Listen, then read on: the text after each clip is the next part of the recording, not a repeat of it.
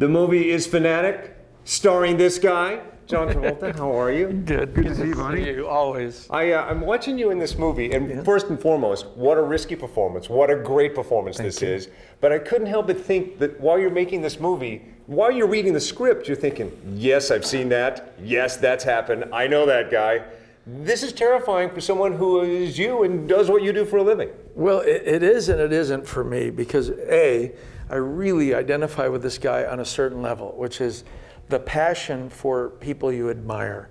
And I think every one of us has a little bit of moose. That's the name of the character. Right. In them. They all love some sports figures, some musicians, some uh, icon from history, whatever it is. You have a feeling that you can't describe. Except this guy has it on steroids. He just, you know, he's been bullied his whole life. He's been picked on. He's a little bit on the spectrum. But when his favorite movie star treats him, mistreats him like the people that, that don't know better, Right. he can't figure it out. He just he's totally uh, discombobulated by the whole idea that that the person he loves the most in life, the person that he admires, would even want to treat him that way. So it's a it's a passion play of some sort, really. You know. Right? Yeah. I was telling you, my producing partner produced Criminal Activities, and he told me a story in Cleveland that the first day he met you, he said, I have to warn you about me.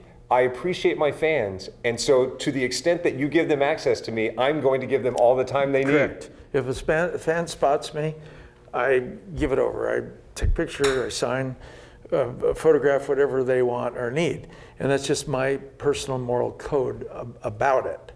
It doesn't mean that others have to follow that code, it's just that's my code. I feel like you're inherently a nice guy, but there's also probably a part of you that remembers the very first lick of fame that you got when all of a sudden you were around famous people. And I knew fame prior to being famous, I'll tell you why.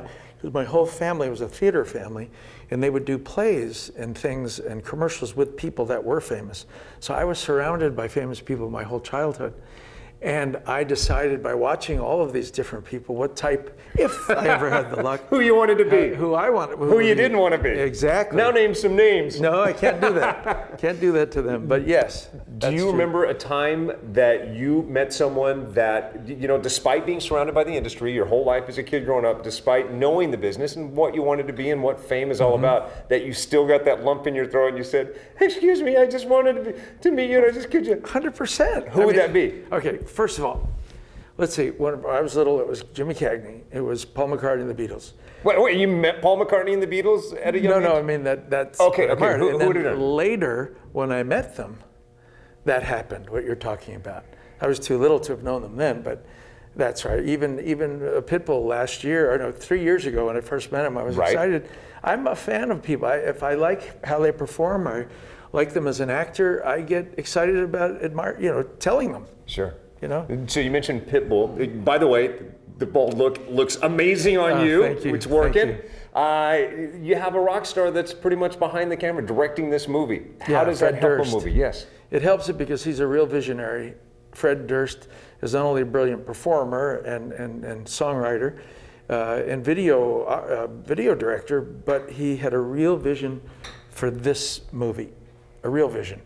And he had an even bigger vision to imagine my playing, not the film star, but to play the fan.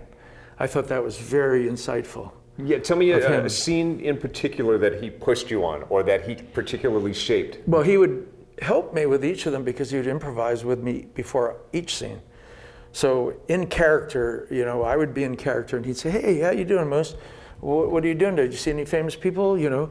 And I would go off on a run, and then he'd send me off to uh, another department, the prop department or the lighting department, and then I'd ask, they'd ask me questions, and then finally he'd see when I arrived at the beingness in the zone, and then boom, he'd say, "Action, start." And then I would do a scene. So it was very helpful. It in worked. that. There's something so organic about this. And uh, again, I could imagine people dropped in this role that would not commit, would not give into it as. Oh, I had to. As much as you did. He, he was too much fun not to commit to, you know. You found some heart in there. That's, I love that. That was important because you can't do the things he does on screen. right. you know, from the maid to tying up the star at the end, I, I, you have to find, you know, why he's doing it and understand why he's doing it. And I did. I felt like I found the key to him He's done so many things in the movie that aren't particularly relatable, yet there are moments throughout the movie, like even towards the end, where he goes, She's a bad nurse. Who can't relate to having situations like that? exactly. Um, so there's so many moments in this movie that I know you have experienced. What's the weirdest thing someone's had you sign? Oh, gosh, the weirdest thing. Well, I've, I've signed different body parts arms, chest, legs. Um, I've signed. Uh, uh, Oh, I, I just thought of something. So we, we have a, a mutual friend, Jim Woodworth, with the New York City Firefighters Detox Program. He told me he met you before he met you in that way at a, a gas station. He went into the bathroom and he thought how awkward to bump into a celebrity in the bathroom. He had to, Always, he had to wait until he went outside and uh, and say hi. and say hi. Yeah, well, that's happened uh, for sure. Uh, any other awkward fan encounters that you stories that you're comfortable sharing? I know some are probably across the line, not unlike stuff in this well, movie. a couple but- of fans uh, got into my house years ago, and and not that long ago, but uh, they were not ill-intended. They just wanted to meet me, and so I, I didn't have a real uh, problem with it, other than how did this happen? Right. but you know, it was handled. All right, so for most of us, uh, us driving across the bridge, that's our commute. You probably flew in. Did you fly yourself in, or were you I did. commercial this Uh, we were. I, I'm trying to keep track of the cities. The last city I was in was Chicago, and uh, tonight will be LA, and then uh, back to. Anyway, we're, we're going all over the country with this movie. and are you it- flying yourself? uh, yes, most of those I- I, try to, as, as long as I've had enough sleep, I do. Yeah. Well, you're So, remarkable in everything you do. you. I I love that this is another feather in your cap. Appreciate that. Good to see you, John. You Thanks too. for your time. Yeah. Pleasure.